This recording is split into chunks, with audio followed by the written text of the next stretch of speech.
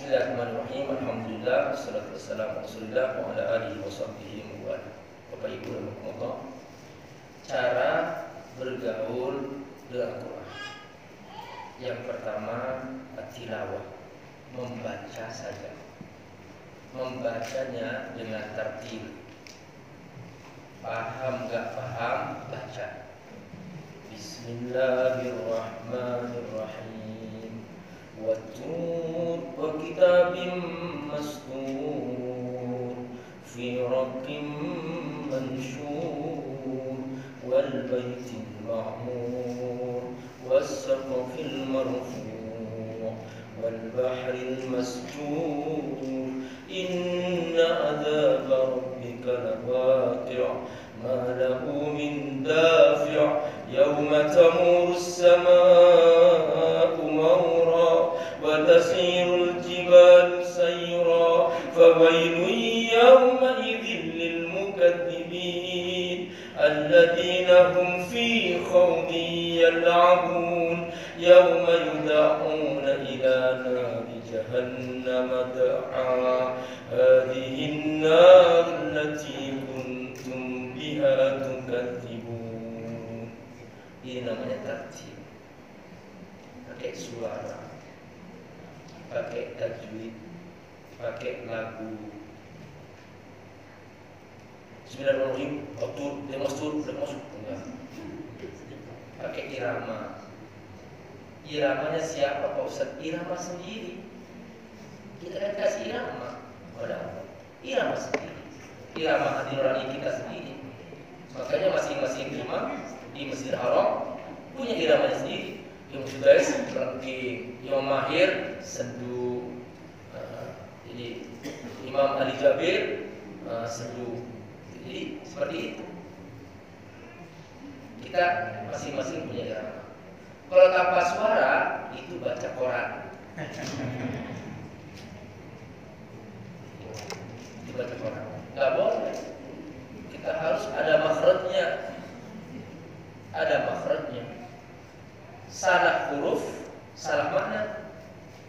Bismillahirrahmanirrahim. Alhamdulillahi Rabbil Alamin Mana yang salah? Mana pilih salah? Ha. Kalau saya bilang Alhamdulillah Kehancuran bagi Allah Dan kematian baginya Kalau saya bilang Alhamdulillahi Rabbil Alamin Artinya Segala puji bagi Allah Coba Qalbun Apa artinya? Kalbun Apa artinya? Bapak jangan salah ngomong sama istri. Anti kalbi. Apa artinya? Kamu anjingku. Wah mana tuh istri? Bisa dibentung tuh. Jadi salah huruf salah makna. Anti kalbi. Kamu hatiku. Baru tersenyum tuh istri. Masya Allah. Jadi itu penting dalam belajar makhluk huruf. Tadi saya dengar ada ya, ada tafsir Dikasih itu untuk belajar makhluk. Di Fatihah saja, nggak usah jauh-jauh. Makhluk Fatihah saja pak, karena Fatihah rukun dalam sholat. Kalau Fatihahnya bagus, otomatis kalian akan bagus. Itu Fatihah ada kunci. Tapi Fatihah ada semua huruf, ada semua huruf, ada semua huruf istilah, huruf yang berat ada semua. Sampai ada walat itu ada. Banyak orang baca walat apa kata Imam Nawawi? Inna fil Fatihati arba'ata asyara syiddah. Dalam Al-Fatihah ada 14 tasydid. Faman taraka wahidatan min kunna batala salatuhu. Orang yang satu tasydid hilang salatnya. Jelas. Ini Fatihah keliru. Makanya perbaiki makhraj huruf, kemudian perbaiki tasydidnya, perbaiki tajwidnya, tahsinnya. Al-Fatihah aja. Adakan pelatihan Al-Fatihah saja. Sudah, cukup sudah. Nanti kalau Fatihah sudah cukup benar semua aman. Yang lain akan ikut baik otomatis. Di haknya, haknya itu diperbaiki semua. Kalau sudah uh, proses selesai, sudah itu aman. Nanti dipasang sini daurah al-fatihah, taksi otomatis khusus. Nanti akan baik sendiri yang lain otomatis. Karena itu rukun dalam surat. Ya. Insya Allah Allah mudah. Ya. Jadi itu, jadi baca saja bu. Paham gak paham bisa nanti. Terus yang kedua, al-fahmu. Berusaha memahami. Nah, ada nih jamnya lain lagi jangan digabung. Jangan digabung membaca Bismillahirrahmanirrahim Wattur demi atur. Wa kitabim mastur itu nggak akan khusyuk, nggak akan menikmati Quran. Jadi caranya adalah ibu ada waktu khusus belajar maknanya dan tafsirnya. Kalau makna terjemahan belum cukup, belum cukup harus ditambah dengan tafsir. Nah, ada tafsir yang paling pendek. Tafsir paling pendek itu kalau Ibnu Katsir masih panjang yaitu hanya penjelasan makna. Ya ringkasan tafsir. Ringkasan tafsir. Ada. Seperti gini Pak Ustaz bukan bukan itu. Ada ada di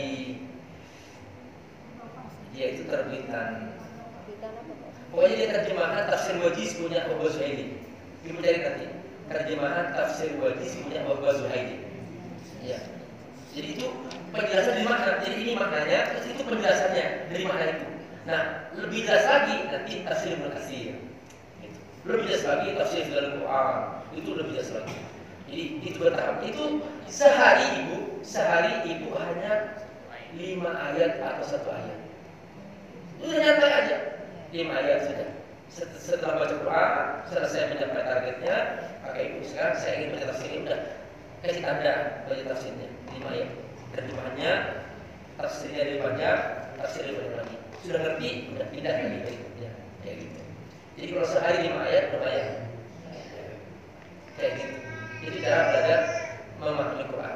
Kalau nggak paham ibu kontak Ustaz, misalnya siapa ke saya apa apa ibu Ustaz ini saya di ini saya membaca ini ini apa tanyakan pakai WhatsApp atau apa saya jawab nanti gitu.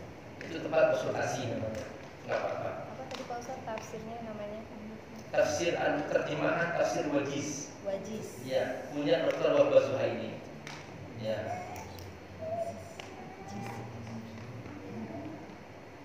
itu terbitan Geban Sani kalau nggak salah. Ini di sini dekat sini Geban. Sani. Bu datang aja ke pabriknya. Bilang aja. Ya, bilang tanya saya, saya saya pernah melihat, soalnya saya pernah melihat. Terus yang ketiga mengamalkan. Quran itu intinya ada dua. Kerjakan, jangan kerjakan. Itu Quran intinya. Kata Quran kerjakan, kerjakan. Kata Quran jangan, jangan. Yang banyak orang Islam gimana? Kerjakan, nggak dikerjakan. Jangan kerjakan, dikerjakan. Terus doanya minta masuk surga. Itu lucu itu. Jadi itu sudah tiga ya. Tilawah, hifz, ah, faham, terus amalkan hifz, menambah hafalan.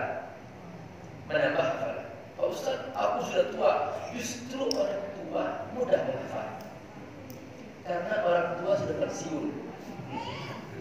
Sudah nggak ada tugas lagi. Dia kalau nggak sibuk menghafal, pasti sibuk urusan lain. Ibu kalau nggak sibuk menghafal Quran, pasti sibuk ngurus cucu. Ngurus yang lain lagi. Pasti. Padahal ibu kesempatan menumpuk pahala pada masa tua. Gitu. Jadi Allah sudah punya cara. Kalau kamu nggak bersibuk sama Quran, kamu bersibuk dengan lain aja. Jelas, kalau ibu sibuk Quran, lebih besar pahala. Pak Ustadz nggak mungkin aku sudah tua bisa menghafal. Bapak Ibu, terus terang. Menghafal itu tidak usah diniatkan hafal. Karena kalau ibu disuruh diniatkan hafal, nggak hafal. Ibu yang paling penting mengulang. Itu aja. Jadi satu ayat itu kan ada HP sih. Langsung pencet itu apa? Ayatnya yang baca ulang-ulang. Ada kan di program di, di, di, di handphone di Quran satu ayat bu langsung dia tulis otomatis dia gak akan pindah ke berikutnya pindahkan. Udah ibu pencet sudah dengarkan. Udah sambil masak sambil apa terserah atau fokus ibu dengarkan. Nanti lama-lama hafal sendiri. Gitu. Coba ada yang hafal surah Yasin? Yasin, apa Ya. Yasin? Banyak yang hafal surah Yasin kan? Banyak. Padahal ada yang hafal dulu. Tapi karena sering baca akhirnya Iya. hafal. Nggak sengaja, hanya baca, baca, baca. Tapi akhirnya hafal juga. Jadi sebetulnya yang sering diulang. Ibu baca Al-Fatihah? Kan sering diulang. Iya. Jadi nanti kalau diulang, itu kita akan hafal seperti hafal Al-Fatihah. Jadi masuk, Bu bangun. Alhamdulillahirabbil alamin. Ar-Rahman. Kenapa? Karena. Gitu. Saya terus terang Pak, sampai sekarang nggak pernah berniat menghafal lagu Rumah Irama, nggak pernah. Tapi karena waktu itu dari rumah ke sekolah SD itu sepanjang kampung itu pasti setiap rumah pasti nyetel lagu Rumah Irama, pasti. Berjalan dari sekolah dari rumah ke sekolah pulang lagi. Itu lagu Rumah Irama itu sampai sekarang hafal semua itu lagu Rumah Irama padahal nggak pernah yang menghafal akhirnya lagu-lagu baca Quran saya itu terpengaruh sama lagu Rumah Irama iya. Hai manusia hormati ibumu yang melahirkan masih ingat masih jadi baca Quran tuh. Bismillahirrahmanirrahim. Alhamdulillahirabbil alamin. Iya. Ada kehidupan. Jadi berbohong pokoknya lihat. Pak Ustaz apa keutamaannya? Bapak Ibu, nanti di pintu surga ada absensi. Ranking penentuan surga berdasarkan jumlah hafalan. Semakin banyak hafalannya, semakin tinggi surganya. Itu. Makanya tambah hafalannya. Jadi saya pernah ketemu seorang nenek sudah umur lima, eh, sudah umur 60 tahun. 60 tahun, waktu aku pengen hafal. Saya program, yaitu bisa hafal, sekarang sudah hafal mungkin sekaligus. Bisa, bisa. Karena ini nggak ada pikiran, nggak ada pikiran bukan kok. Sudah selesai masalah, sudah kembali seperti masa lalu lagi. Ada yang pikiran bukan? Eh, mana yang ibu? Kayaknya umur 12 tahun semua. nih. Jadi, Allah itu salah satu hal penting. Terima kasih Bunda, pertanyaannya bagus. Jadi nanti baca sendiri ya, pisahkan. Mem- Memahami lain lagi, membaca lain lagi. Jadi ada target membaca hatam. Kata Nabi, ikra'u fi syahr. Minimal kamu hatam sebulan sekali. Itu dalam, dalam bulan Ramadan. Bulan Ramadan, ibu usahakan hatam tiga kali. Loh, oh itu tiga kali bosan? Iya. Ada ulama ditanya, ya Syekh, kenapa kamu hatam tiga kali? Kata Syekh itu, Al-Khutbul awal li abi. Hatam yang pertama aku hadiahkan untuk ayah. Wal khutbus sani li ummi. Hatam yang kedua aku hadiahkan untuk ibuku. Wal khutbus salis li. Hatam yang ketiga untuk diriku sendiri. Masya Allah. Banyak hadis tentang tiba-tiba kuburan seorang ibu, seorang ayah bercahaya, cerah saja, terang. Dari mana? Ternyata anaknya menghadiahkan khatam Quran. Anaknya beramal soleh, bersedekah sama ibunya, berikhlas sama ibunya. Itu semua menambah pahala amal mereka. Nah, hadir terbaik seorang anak ya, kepada orang tua. Bukan mudik. Mudik itu biasa. Mudik itu biasa. Semua orang bisa mudik. Gak perlu iman hanya mudik. Tapi menghadiahkan baca Quran, menghadiahkan amal soleh. Ini dia paling mahal untuk orang tua kita yang kita cintai. Nah itu. Insya Allah mudah-mudahan kita semua dimudahkan. Amin.